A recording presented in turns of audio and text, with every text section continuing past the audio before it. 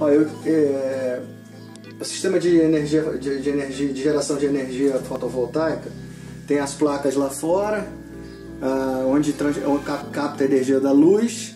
Essa energia vem por cabo, passa nesse, nesse, nesse, nessa é uma redezinha de proteção aqui, se pegar raio, essas coisas, e, e aí entra no inversor.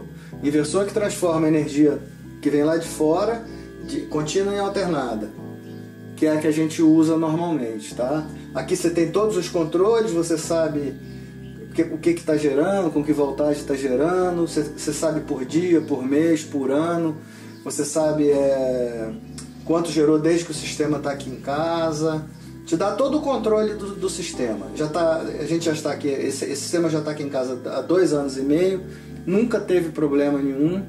E tem dois anos e meio que eu não pago conta de, luz. Na realidade, eu pago o que é obrigatório, que é a utilização da rede e a taxa de iluminação pública.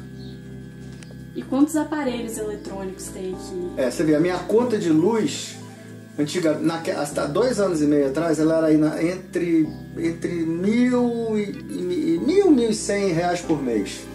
É, ar-condicionado em todos os quartos, televisão em todos os quartos, geladeira tem três, freezer, sauna, tudo que vocês imaginam que uma casa moderna tem, tem aqui, todos os equipamentos, sabe?